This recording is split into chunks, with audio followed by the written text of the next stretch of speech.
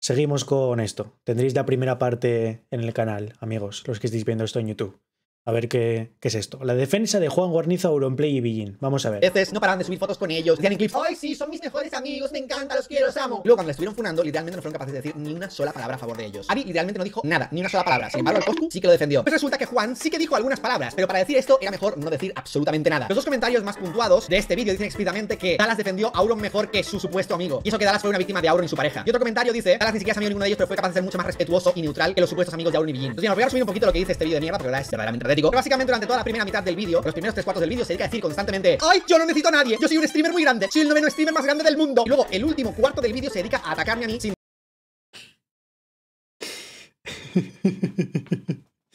Es que me hace mucha gracia que Dallas se queje de narcisismo o de egocentrismo. Es que es una cosa que me produce, no sé, risa instantánea. Decir mi nombre, pero usando las mismas palabras que he usado ahora para atacarme. ¿No me creéis? Que lo que veáis es nivel de narcisismo, repito, patológico. Fijaos, eh, esto supuestamente es un clip donde defiende a Auron. Es patético. Defiende a Auron siendo un pedazo de narcisista, un egocéntrico de mucho cuidado. Escuchad porque... un egocéntrico de mucho cuidado. Lo dijo, lo dijo, lo dijo. Lo dijo, escuchadlo bien, lo dijo. Es un clip donde defiende a Auron. Es patético. Defiende a Auron siendo un pedazo de narcisista, un egocéntrico de mucho cuidado. Escuchad porque es ridículo. Llevo seis años haciendo directos. Yo no necesito, en este momento de mi vida, de absolutamente nadie para mantenerme. No necesito quedar bien con nadie por obligación. Te lo juro que no. Te lo Toda esta bobería lo dice porque le preguntaban si hablaría sobre Auron. ¿What the fuck? podría decir, tanto a nivel mediático, como a nivel económico, como a nivel laboral, como a nivel personal. Te lo juro que no. Amigos, soy el noveno canal más seguido del mundo en Twitch. El noveno. Si tú crees que para estas alturas de mi vida Según entendí un poco el contexto, eso es porque la gente le estaba diciendo que opinase sobre el tema de Auron y Billin. Y lo que hizo él fue hacer así y autocomérsela. Gluck, gluck, gluck. Literalmente. ¿Qué tendrás que ver tú en todo el tema de Auron y Billin? ¿A cuento de qué nos vienes a decir que eres el noveno canal más grande del mundo? Como queriendo decir que tú no necesitas hablar de ese tema porque tú eres muy famoso y muy seguido. Por desgracia. Por desgracia, de gente tan trepa, traicionera y falsa como tú, traicionas a tus propios amigos. Y te juntas con quien haga falta por interés en el momento específicamente conveniente, porque ahora es repulsivo. Por desgracia, eres un canal tan seguido. Terrible, ¿eh? Básicamente se dedica durante todo el rato después a decir que él no va a hablar del tema, que no lo necesita. Literalmente, o sea, no le defiende ni lo más mínimo. Luego coge y vuelve a autochupársela a sí mismo. Escuchad esto. Y a mí se me ha faltado el respeto a mí, a mi comunidad y a cercanos míos muy cercanos, tanto delante de la cámara como detrás de las cámaras. Yo creo que la gran mayoría de compañeros de trabajo pueden hablar muy bien de mí, pueden decir que soy una persona amable y soy una persona respetuosa. Y yo no te tengo respeto, no te lo tengo y te lo aseguro que no te lo tengo. Sin embargo, no me voy a poner a insultarte 30 mil. Patético, de verdad. O sea, esto es un nivel de patetismo increíble. Es todo el rato él autofeándose a sí mismo el cimbrel, diciendo que él Lo único que menciona de Auron es que ya hablo con él por privado y ya está. no tiene que hablar del tema, no tiene nada que hablar y que él es muy famoso y él es muy conocido y tiene mucho dinero. Y luego la parte final, que es la que os digo, el último cuarto se dedica a atacarme a mí sin decir mi nombre. Fijaos que esto es de hace ya un mes, él usa las mismas palabras en mi contra que ha usado ahora recientemente para el tema de Ari. Escuchad porque esto es muy patético. Solamente para terminar, les dejo una frase que a mí me parece que es estupenda, que es aquel que no conoce su historia está condenado a repetirla. Si ustedes le vuelven a dar el peso y una credibilidad a muchas palabras que están escuchando estos días, te van a llevar una decepción en pronto. Yo, yo creo que más pronto que tarde. Cuando esa persona vuelva a cagar y de repente pase de ser nuevamente un basado a ser un tarado. Wow, la pinta de Cosco, amigo. ¿Habéis escuchado eso? Yo, que yo, habiendo sido enemigo número uno de Auron durante muchísimos años, fui la víctima de sus acosos en el año 2013, que jamás me llevé nada bueno de él. Yo, no tú, yo defendí a Auron más de Él, ¿eh? por si no se ha quedado claro, es Dallas, ¿eh? lo que tú lo hiciste un millón de veces. Bueno, no sé cómo se puede decir un millón de veces cuando tú hiciste literalmente cero. Y tú te dedicas Eso era para Socas, es lo que estoy pensando. Que. Es que est- estaba, estaba en mi mente diciendo, es que claro, han pasado tantas cosas, pero estaba en mi mente pensando, ¿esto que está diciendo Juan Guarnizo? ¿Era referente a lo de Auron y Villín? Espera un momento, vamos a verificarlo en mi canal. Espera un momento, ¿eh? A ver. Igual no, igual es sobre. A ver dónde está. Uf, a saber. Eh, Esto nos va a llevar un tiempo, ¿eh? Es aquí, ¿eh? ¿no? Es aquí. Tiene la misma gorra y el mismo outfit. Se ha Es porque aprendido. son personas que vale verga sea. Que yo le importo 300 po te tengo respeto, que no te lo tengo. Perdón porque una persona, de todas las personas que hay en el mundo me valgan verga. Frase que a mí me parece que es estupenda, que A es ver. ¡Ah! Es esto, es esto, es esto. quién están escuchando sus puntos de vista y qué mensajes están compartiendo. Pero, pero, pero, pero, pero, pero, pero, pero, pero, pero, pero, ¿qué cojones? Y solamente para Pero, pero si esto que acaba de decir Juan no va, no va sobre, sobre... Pero, pero si no va sobre Aurora y Villín. ¿Esto qué es? terminar, les dejo una frase que a mí me parece que es estupenda, que A es ver. aquel que no conoce su historia está condenado a repetirla. Si ustedes le vuelven a dar el peso y una credibilidad a muchas palabras Aquí está hablando del Socas. Gracias a la persona que lo dijo por el chat, porque realmente me iluminó la bombilla. Lo estaba pensando yo, pero dije, nada, hombre, es que como hemos visto tantas cosas, que están escuchando Ahora no sabía que. Vamos a por el modo cine. No sabía que ahora mismo eh, nuestro señor eh, Auronplay y Billin son socas. millón en el año 2000 escuchado eso, yo, que yo había Y de repente pase de ser no escuchando esto que no conoce su historia. al tema de Ari, escuchar, porque atacarme a mí sin decir mi nombre. Fijaos que estos de hace ya un mes, él usa las mismas palabras en mi contra que ha usado ahora recientemente para el Bueno, no dice que es referente a lo de Auron y Billin aquí, ¿no? tema de Ari, escuchar, porque Dice que es hace un mes. Pero no le interesa decir que es por, so- que es por socas, obviamente. Esto es muy patético. Solamente para terminar, les dejo una frase que a mí me parece que es estupenda, que es aquel que no conoce su historia está condenado a repetirlo. Si ustedes le vuelven a dar el peso y una credibilidad a muchas palabras que están escuchando estos días, se van a llevar una decepción en pronto. Yo, yo creo que más pronto que tarde. Cuando esa persona la vuelva a cagar y de repente pase de ser nuevamente un basado a ser un Pero esto, pa- esto, esto es referente a socas, esto sí. ¿eh? ¡Wow! La pinta de Cosco, amigo. ¿Habéis escuchado eso? Yo, que yo, habiendo sido enemigo número uno de Pero que dale, es que esto no va de ti, no va de ti ni de Auron ni Billin. Que tú, que tú, que tú, tú, tú, tú, tú, tú, tú, tú, tú, tú, tú, tú, aquí no tienes nada que ver, es de sobre socas. Tú aquí no, tú, tú, tú, no. Esto es, esto es un clip de socas. Está respondiendo a socas por, por la movida que tuvieron. Seguro que es de socas. Hombre, lo acabamos de ver en mi canal. Yo no manipulo. Auron durante muchísimos años. Fui la víctima de sus acosos en el año 2013. Jamás me llevé nada bueno de él. Yo, no tú, yo defendí a Yo, él, eh. Él. Auron más de lo que tú le hiciste un millón de veces. Bueno, no sé cómo se puede decir un millón de veces cuando tú hiciste literalmente cero. Y tú te dedicas a atacarme a mí cuando yo defendí Que, que, que, esto, que esto no es para ti. grabación, grabación, grabación, que esto no es para ti. que esto no va sobre ti. Que no, que no, que no. Que no, que no, es- que no es para ti. Que, esto es para socas. Nah, ¿cómo se nota que no es suscriptor de Cell Junior, eh? ¿Cómo se nota que no es suscriptor de Cell Junior? Yo no entiendo nada. Mira, por favor, atención. El que no conoce su historia está condenado a repetirla. Buah, que bien cuadro aquí la música, ¿eh?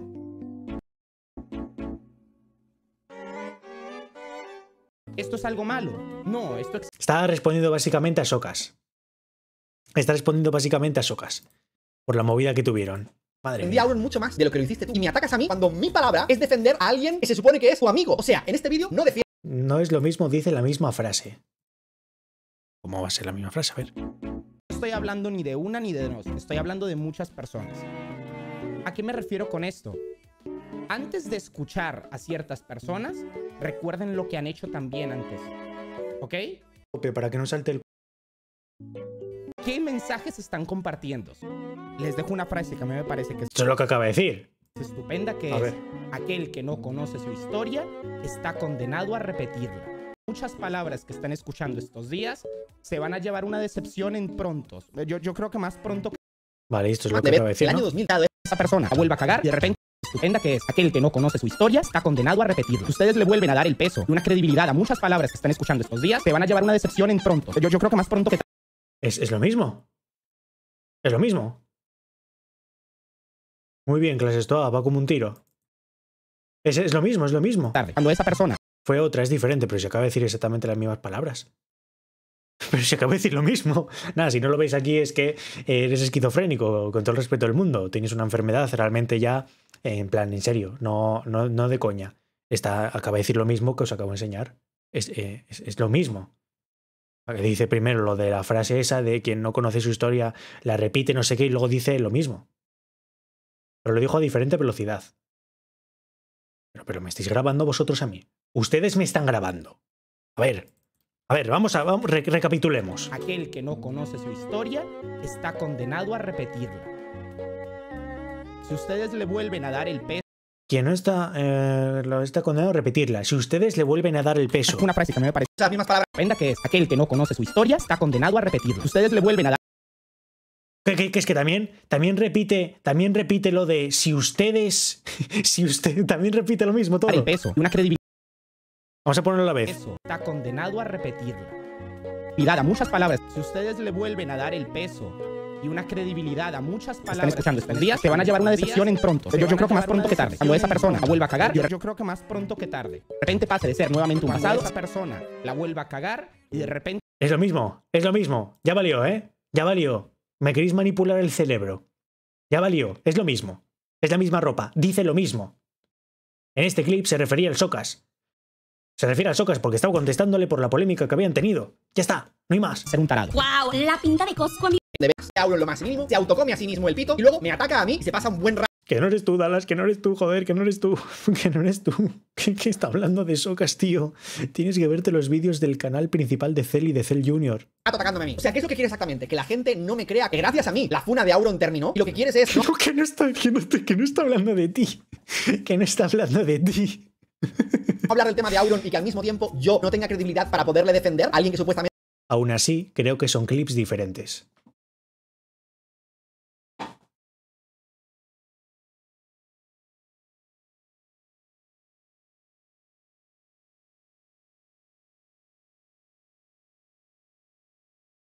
Hoy no duermo.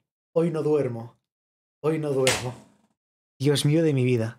¿Cómo, cómo, cómo, cómo que son clips diferentes? ¿Cómo que son clips diferentes? Exactamente. Nada peor que un ciego que no quiere ver. es tu amigo, No, no, no era así, no era así la expresión. No es más ciego que el que no quiere ver. menudo pedazo de falso, trepa, hipócrita eres, de verdad, qué nivel. Y sigue, ¿eh? porque realmente se pasa un rato haciendo esto, no lo voy a poner entero, pero es patético. con una persona, pero no le den el peso de la credibilidad de las palabras a personas que anteriormente ya les han decepcionado con acciones que no están bien. No porque alguien los decepcione, tengan que entonces ¿Veis ahí cómo está cortado el clip? Fijaos. Fijaos. Las palabras a personas que anteriormente ya les han decepcionado con acciones que no están bien. No porque Eh, ahí está, ahí está el desvanecido. Fijaos, en el clip original, el de que lo tenemos en el canal, creo que esto también lo puse, ¿no? Aquí es donde le pasa. muchas palabras que están escuchando estos días, se van a llevar Fijaos.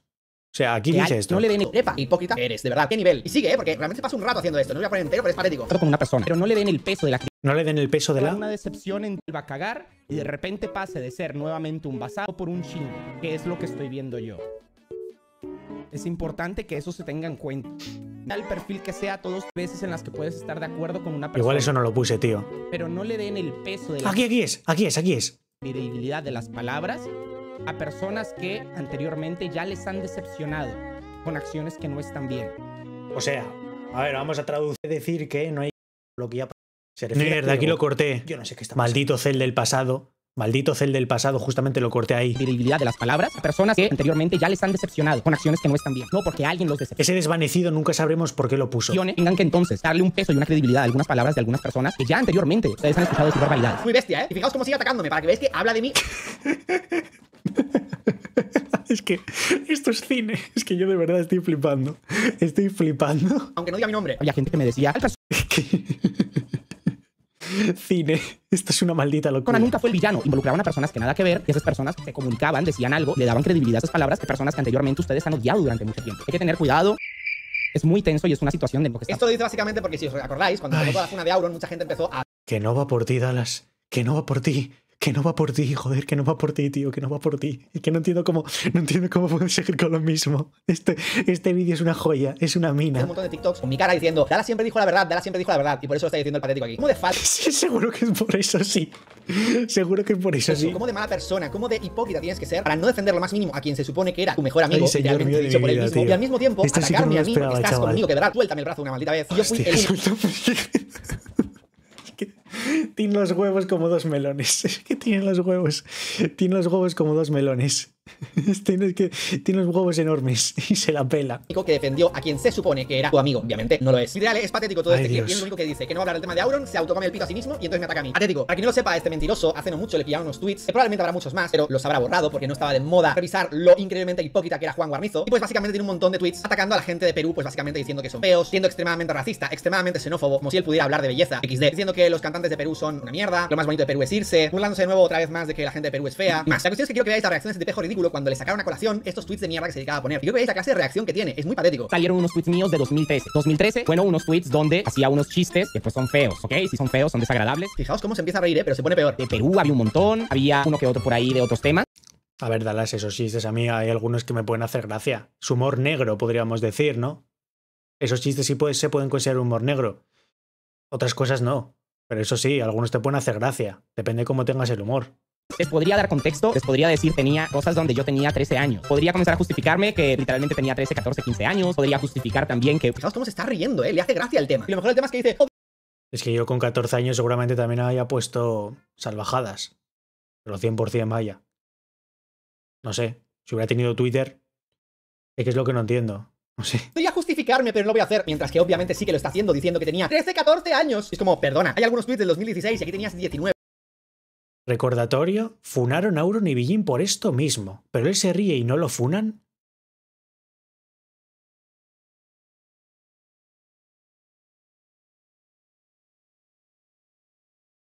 Ay, Dios mío, de mi vida y de mi corazón, que me están grabando. Es que me tienen que estar grabando. Me están grabando. Pero, ¿qué tiene que ver esto con, con lo de Auron y Billin? O sea, que, que, que Juan Guarnizo diga literalmente dos puntos. Han hecho un, no sé qué, unos premios de belleza en Perú. Coma. Sí, en Perú. Es lo mismo que lo que hicieron Auron y. Es lo mismo. Nada, coña, coña. Este, este vídeo es cine. Este vídeo es cine. Es una simulación. Esto no, esto no puede ser verdad. Y en 2013 tenías 16. Decir que tenías 13, 14. O sea, es que verdad me sorprende. ¿Cómo eres capaz de mentir tanto? No me lo explico. Es algo que me parece increíble. Todo el mundo sabe que eres del 97. Dallas, también salieron tweets de 2012 y 2011, creo. Es que lo tengo en el vídeo del canal principal. Pero claro, eso no lo enseñas porque está aquí cortadito. En 2013 tenías 16 años, no 13, 14. Pero se dedica a justificarse como si fuéramos tontos, como si la gente no buscase la obviedad. Y de nuevo se pone a reírse. Ah, este vídeo es una simulación tras simulación. Es una coña mala. de mierda. Fijaos en la risita que tiene cuando lo explica. Literalmente tenía 13, 14, 15 años. Podría justificar también que muchos de esos tweets, porque yo me acuerdo, eran publicados cuando Colombia jugaba contra Perú y en Twitter que hacían unas guerras de países los días que había partidos, ya sea de Copa América, incluso amistosos. Bueno, lo vimos con el Mundial cuando fue el México-Argentina. Y encima se pone a justificar diciendo, es que era todo por el fútbol, era todo por el fútbol. Y hace gracia, ¿eh? O sea, comparar esta reacción con la reacción que tuvo Villín en su momento, que en el último vídeo que hizo casi se pone a llorar por las cosas que publicaba. Y este patético de aquí se pone a reírse. bueno, es que eran tweets que ponía con el fútbol. Qué payaso, de verdad. ¿Alguien de Perú le valió esto? Bueno, vete a saber, porque si es súper fan de él, pues ya harán lo que sea. Literalmente al tipo aún le hace gracia esta mierda. Nah, Está feo, está muy feo. Pido disculpas si a alguien le resultó molesto. Eh, yo lo único que puedo decirles es, si nos toca deducir que una persona es racista, xenofóbica, machista o lo que sea, teniendo en cuenta su personalidad a los 13, 14 o 15 años, no habría ni una persona buena en este mundo. Vale, primero que nada, vamos a analizar esto muy sencillamente. La disculpa es una mierda. Tú cuando te disculpas, no te disculpas con perdón si te ofendió. Porque lo que haces entonces es poner sobre la persona a la que ofendiste toda la culpa. No que tú específicamente buscaste ofender a alguien, no, no, sino que perdón si tú eres tan ofendidito que te ofendiste. Eso no es una disculpa, es pura mierda. Es la típica disculpa que hace la gente que son abusadores, maltratadores, que se dedican a disculparse contigo cuando en realidad lo que hacen es poner la culpa sobre ti. Perdón si tú te sentiste ofendido. Perdón si a ti te molestó. Eso es una disculpa, es una mierda. Yo te lo enseñan cuando tienes 10 años en el colegio. Este tipo al parecer ni eso puede. Luego automáticamente pasa a decir, pero bueno, es que pueden ver mi actitud, mi actitud es diferente, ha cambiado. Y empieza a decir como si todo el mundo a esa edad hiciera esa clase de mierda, esa clase de basuras. Y la respuesta es no, no todo el mundo es tan enfermo para poner las barbaridades que tú y tu novia Que no, funaron a Auron por esto mismo, mentiroso. Esto, esto lo habrá puesto el editor o algo así. ¿Cómo van a funar a Auron por esto mismo? No me toco los huevos. Pero, pero qué locura es esta, por Dios. Que nos están grabando, joder. Que nos tienen que estar grabando, que esto no es real. ¿Cómo van a funar a Billin por por esto mismo? Encima con mayúsculas, ¿eh? Por esto mismo. Algo parecido, nada. Lo siento mucho. Eh, Chris Otaku, te tenemos que silenciar. Hoy has dicho muchas cosas que no tienen mucho sentido. Realmente, antes dijiste que el clip ese no sabía si era el mismo. Te vas al despacho el director unos minutos. Es que somos pocos hoy y realmente leer cada, cada minuto un comentario. Es que, hostia, que claro.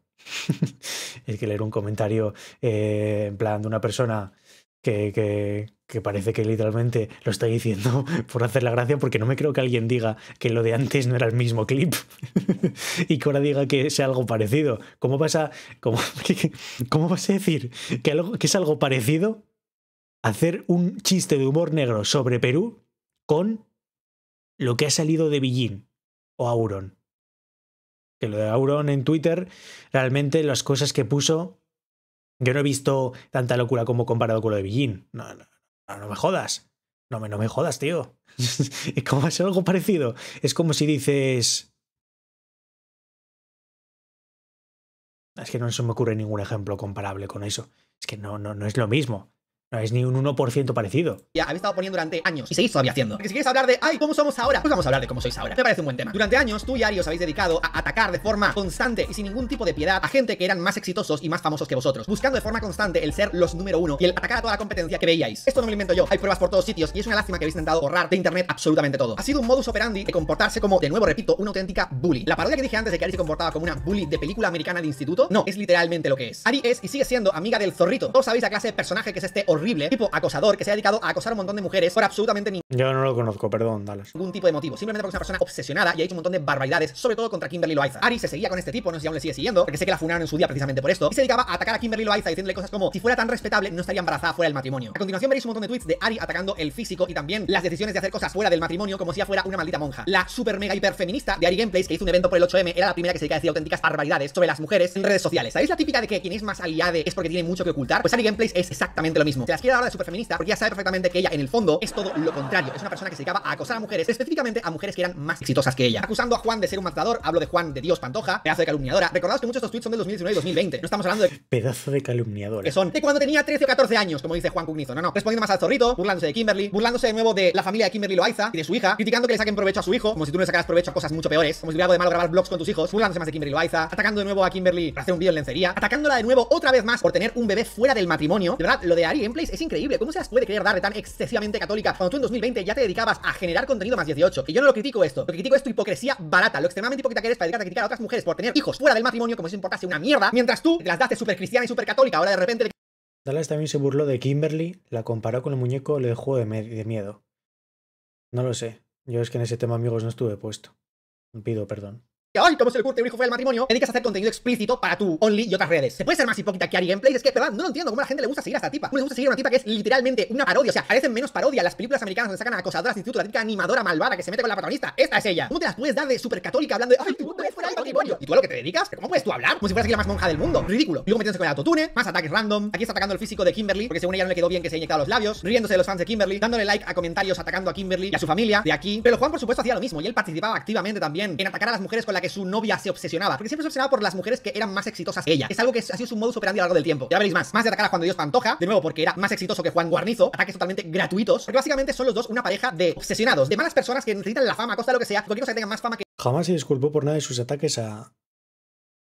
o Kim, incluso cuando le criminó. Bueno, es que esto no sé qué es. ellos lo ven como una competencia, algo que tienen que bajar de cualquier manera. Y más sacar a Juan de Dios solo porque hacía canciones, literalmente, patético. Nivel de envidia y de ridiculez. Criticando de nuevo a Juan de Dios porque Kimberly se cayó, o sea, una tontería, fue un accidente, esto no tuvo culpa a nadie. Patético, patética. Pero sabéis lo mejor del tema, que todo esto viene literalmente de unas ganas de querer ser como ella. Escuchad esto. Es muy bonito. O sea, yo por ejemplo veo el cuerpo, les voy a poner un ejemplo, el cuerpo de quien me encanta. Su cuerpo está literal perfecto. El de Kimberly Loaiza, Román.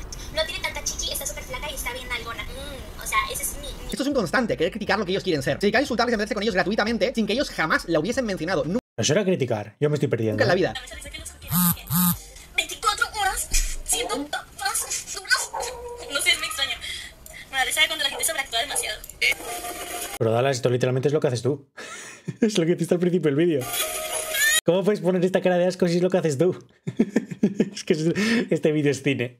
Este vídeo es cine. Mira qué cara de asco que pone. Diciendo, va, qué, qué- qué tipeja. ¿Cómo, ¿Cómo se burla de ella? Cuando literalmente al principio del vídeo lo que ha hecho es, es lo mismo. Hemos logrado el reto 5.39 de la tarde. Son las 10 Ahora toda la vida haciendo, qué gracioso, hace unos meses y cuatro haciendo papás y embarazó.